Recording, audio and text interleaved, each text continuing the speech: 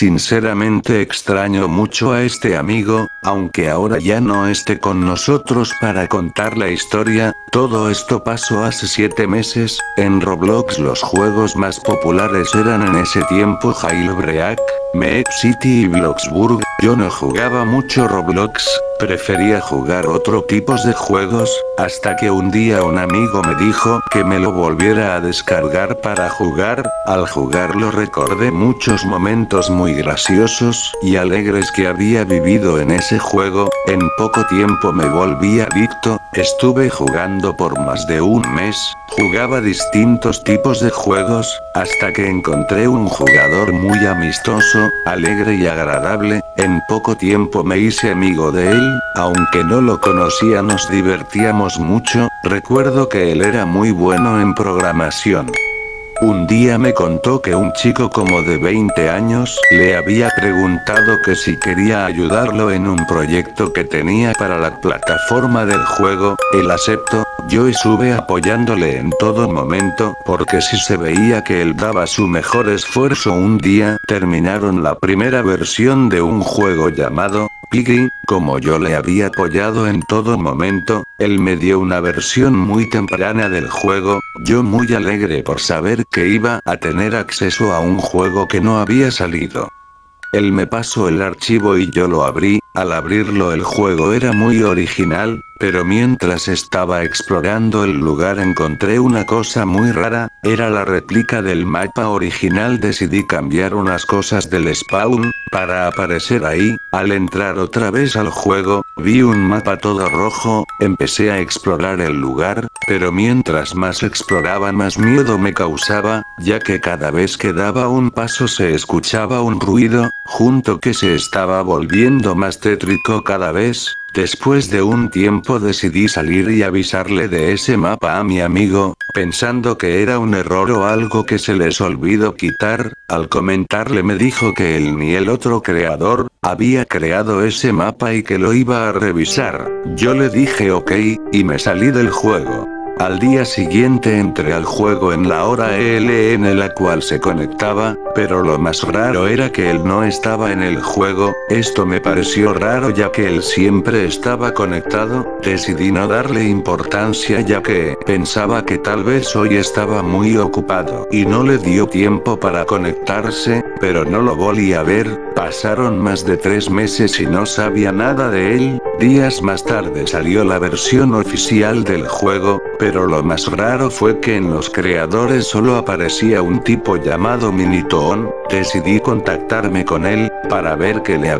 pasado a mi amigo, pero él no contestaba, así fue por más de dos semanas hasta que me llegó un mensaje de él, este solo era el link de un juego, al entrar en ese link, me direccionó a la primera versión de Piggy, en el mapa que anteriormente había visto, mientras estaba buscando las llaves para escapar del lugar, encontré unas notas tiradas en el suelo, al levantar una hoja. Un día comenzó todo. Seguí caminando por el lugar cuando encontré otra hoja, en esta decía, 6, 6, 6. Seguí caminando hasta encontrar la última llave, abrí la salida y escape, pero el juego aún seguía, seguí caminando y encontré otra nota, en esta decía, ayúdame por favor, no merezco esto. Esto me parecía muy extraño, pero seguí caminando encontré una última nota diciendo,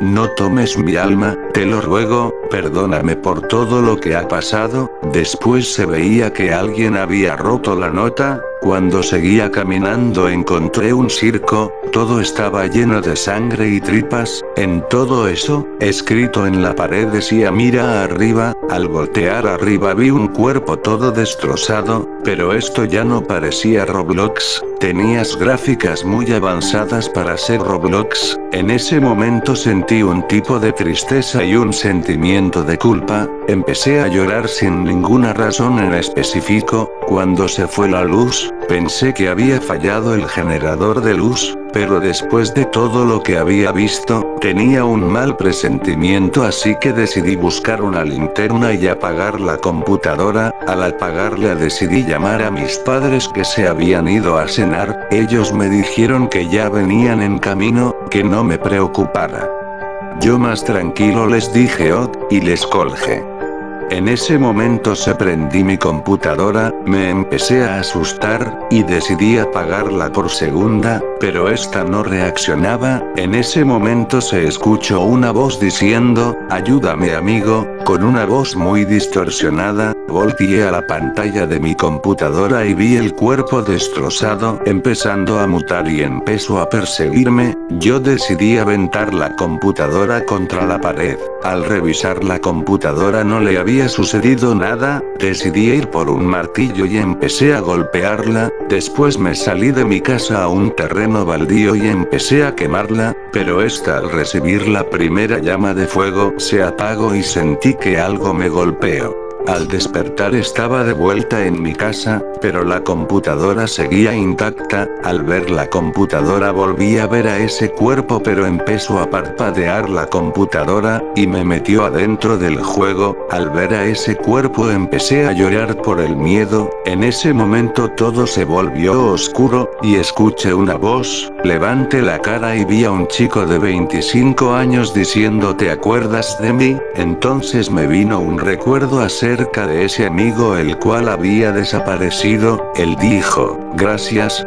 yo llorando le dije, gracias porque, él me dijo por condenarme al infierno, yo muy extrañado empecé a gritar, en ese tiempo se escuchó una voz diabólica diciendo, tu amigo ya no está aquí, lo que quedó de él fue su alma en pena, él buscaba tu bien pero tú volviste a esta versión, entonces sentí como algo afilado me atravesaba el pecho, volteé abajo y vi una cuchilla atravesándome, en ese instante volteé a ver al cuerpo destrozado, vi que era mi amigo, pero él si no, un demonio había poseído su cuerpo, decidí correr muy lasmado, hasta que encontré un altar al demonio, en ese instante vi que el según creador de Piggy, llamado Minitoon, el cual había hecho un trato con el demonio ofreciéndole una alma, esa alma era la de mi amigo, y que esos días que no se conectó era porque había muerto, al entrar a arreglar eso del mapa,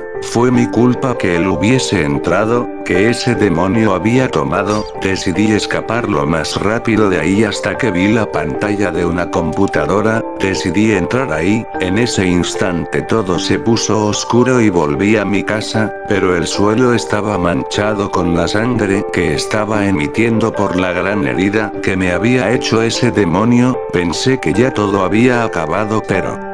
Vi al demonio salir de la pantalla, empecé a escapar pero la herida no me lo permitía, encontré unas vendas ya tiradas en una bolsa de basura, yo sabía que se me podía infectar la herida, pero no importaba eso, lo que más me importaba en ese momento era sobrevivir, decidí irme a un hospital lo más rápido posible, pero mientras estaba corriendo, sentí tres cuchillas atravesándome, pensé que este era mi fin ya que estaba muy herido, en ese instante pensé en mi familia y con mis últimas fuerzas fui a una iglesia muy cerca de donde estaba en el hospital, al llegar había un sacerdote que me vio muy mal herido, le conté resumidamente lo que estaba pasando, él me dijo que él podía ayudarme a deshacerme de él, yo le dije que gracias pero él muy triste me dijo, pero necesitaremos una alma humana, yo al escuchar eso me asusté mucho, pero estaba dispuesto a hacerlo, el padre me dio una sonrisa muy leve, y me dijo tú no chico, recuérdame, el padre una oración muy extraña, el demonio empezó a deshacerse hasta que desapareció, en ese instante el sacerdote dejó de moverse y se cayó al suelo, en ese instante tomé mi celular y llamé a una ambulancia, ellos me dijeron que ya iba una ambulancia en camino, yo muy alegre pero con muy pocas fuerzas me desmayé. Al despertar vi un lugar muy tranquilo, junto a un chico, que se estaba dirigiendo hacia mí, Él me dijo gracias por apoyarme en todo momento, fuiste la mejor persona, y tal vez nos vamos a ver muy pronto, adiós. En ese instante estaba recostado en el piso de la iglesia, cuando escuché un paramédico que decía vamos respira, respira, pero solo cerré los ojos, al abrir los ojos vi una camilla del hospital, estaba vivo, mis padres me dijeron gracias a Dios estás bien, me dijeron que ellos, me habían encontrado junto a los paramédicos desangrado y que por un milagro seguía vivo, días más tarde decidí volver a entrar a esa versión maldita, pero al entrar vi que Deika esto no ha terminado.